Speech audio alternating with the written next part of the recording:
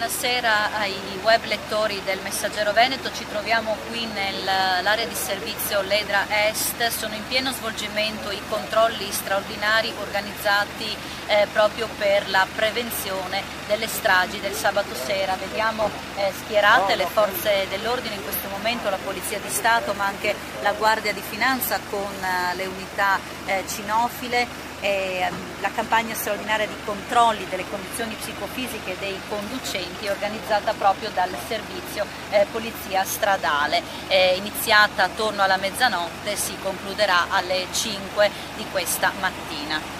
Ecco, stiamo proprio assistendo in questo momento all'arrivo degli automobilisti che vengono sottoposti a varie tipologie di controlli per accertare che le loro condizioni psicofisiche siano idonee alla guida.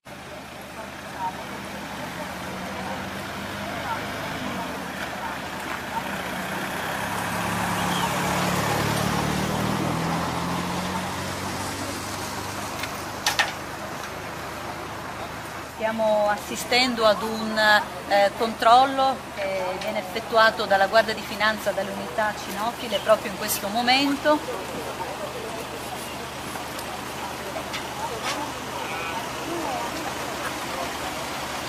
Siamo all'interno dell'unità mobile, siamo con Stefano Marchetti che è amministratore della società Forensic Lab Service e all'interno di questa unità mobile vengono effettuate le analisi al seguito dei controlli che eh, stanno effettuando gli agenti di polizia per accertare la presenza o meno di sostanze stupefacenti.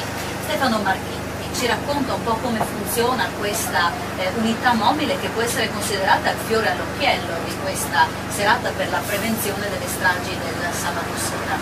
Allora, questa, questa unità mobile è stata proposta al Ministero degli Interni a seguito diciamo, di una ricerca che ha evidenziato certe criticità rispetto all'attività all di, eh, di di questo tipo di accertamento. Abbiamo proposto al Ministero questa unità mobile che consiste nella presenza eh, del medico per quanto riguarda l'accertamento dell'alterazione e dei tecnici specialisti che eh, fanno le analisi per verificare la qualità e quantità di sostanza presente in circolo di un conducente fermato. Certo, ecco, più tardi ci farà, ci farà una dimostrazione di come funziona sì. proprio questo strumento.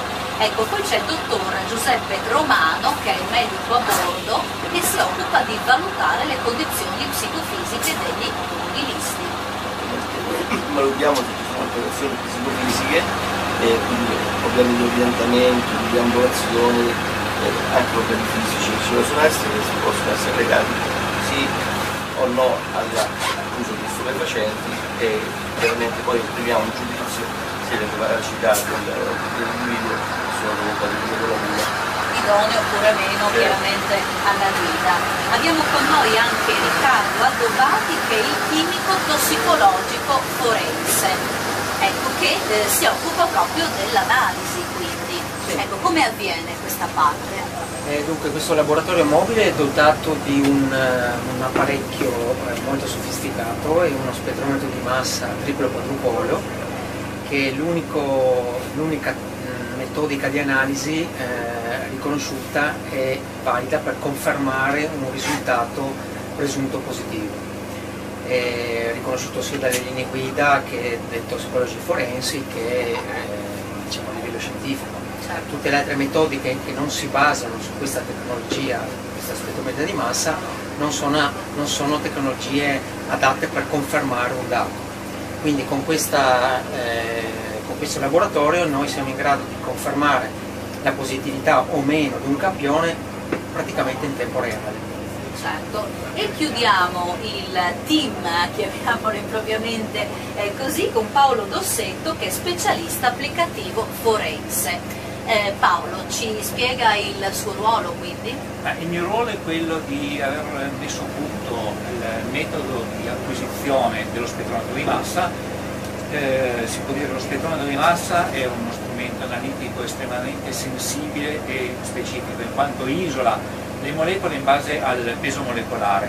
Quindi isoliamo la molecola intatta, questa viene accelerata in una cella di collisione che ne provoca la frammentazione e la produzione di almeno due frammenti caratteristici. Questo ci permette di monitorare tutte le molecole e identificarle, oltre che quantificarle in maniera univoca.